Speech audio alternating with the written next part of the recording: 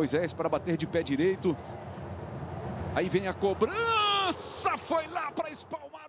Vem bola para a área do Vasco. Bola levantada, Léo Jardim pegou, largou Léo, pegou de novo. Tentar fechar ali a passagem. Entrou no drible do Moisés. A bola levanta a cabeça, prepara, o cruzamento é feito. Galhardo, Léo Jardim. Vem aí a Copa do Mundo e a gente tá na contagem. Hércules vai tentar daí, ele chuta forte. Vem pancada. Volta a jogada pro Tite. Descola o cruzamento, a bola desvia, chega firme. Sume, jogue. Lançamento, Léo Jardim vai lá em cima, fica com ela o goleiro Vascaíno. Cobrou pro Galhardo, grande passe, Moisés, cara a cara, Léo Jardim. No banco, o Maldo...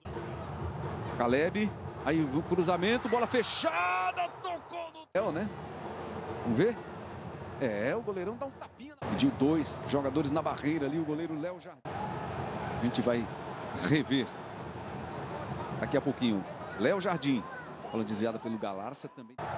Tentando numa pontada aí chegar ao gol. Bola cruzada, Léo Jardim.